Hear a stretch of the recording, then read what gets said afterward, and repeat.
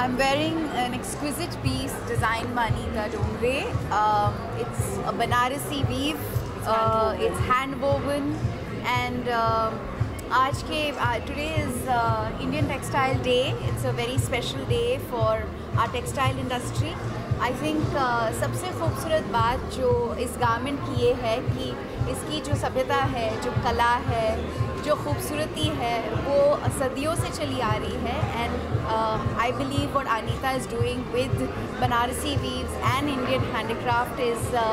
proving that fashion can have a heart मैंने honestly uh, बहुत बहुत पहले से मैं हमेशा बनारस की बहुत बड़ी फ़ैन रही हूँ बनारसी वीव्स की बड़ी फ़ैन रही हूँ और मुझे हमेशा ये बेचैनी सी महसूस होती थी कि um, जो handloom industry hand woven industry है वो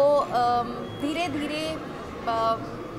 बिखर रही है, कमज़ोर हो रही है, कम होती जा रही है। लेकिन अनीता डोंगरी जैसे डिज़ाइनर्स जब इतना महत्व इनिशिएटिव को देते हैं और कहते हैं कि हमें हैंड वीव को वापस एम्पावर करना है, उन्हें वापस मौका देना है, उनकी हम उनकी खूबसूरती हमारे घर तक ले आना है तो बहुत खुशी महसूस होती है।